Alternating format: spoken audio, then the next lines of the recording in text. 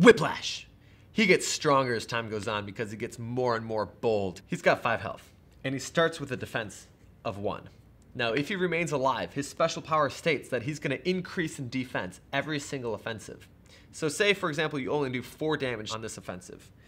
First attack is going to get soaked up by the defense, which means you've only got 3 left over. So these 3 attacks will hurt the hearts. Those will go away.